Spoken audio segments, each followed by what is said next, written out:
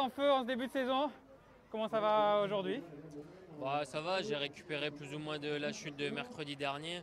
J'avais vraiment un peu mal euh, encore au sacrum euh, ce matin, mais euh, je pense que je suis pas loin d'être à 100% pour aujourd'hui. Aujourd'hui, c'est un sprint qui vous inspire, ça monte à la fin et le, et le final est assez technique? Ouais, ouais, je pense en plus, après, ça va être assez nerveux. Après, j'espère qu'il euh, ouais, y aura peut-être pas de pluie, donc ça sera pas plus mal parce que ça, peut être euh, dangereux.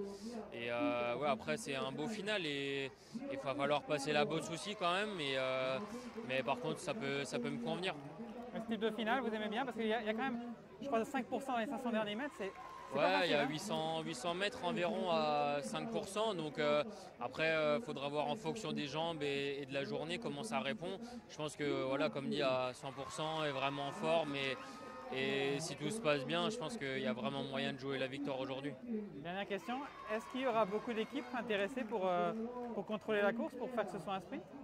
Bah, Je pense qu'au départ, il y a quand même Michael Matthews, pour euh, Back Exchange. Il y a quand même euh, Bahreïn aussi avec Colbrelli et Bauhaus. Euh, Bauhaus a gagné à Tirreno, donc c'est aussi un sprint qui lui convient pas trop mal. Donc je pense que voilà, il y a quand même deux, trois, peut-être quatre équipes intéressées aussi pour, pour contrôler la course et, et aussi faire en sorte que déjà il n'y a pas une, une grosse échappée qui sorte et ça c'est le plus important. Merci Hugo, bonne chance, bonne course.